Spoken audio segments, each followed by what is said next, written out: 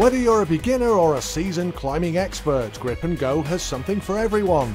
And it's not just for the kids. Parents, grandparents, guardians and carers can join in the fun too. And you can also sit back, relax and enjoy a cup of tea and a cake in our Grip and Go cafe. For a unique, exciting and challenging experience, come and try Grip and Go at the Adrenaline Centre Haslingden.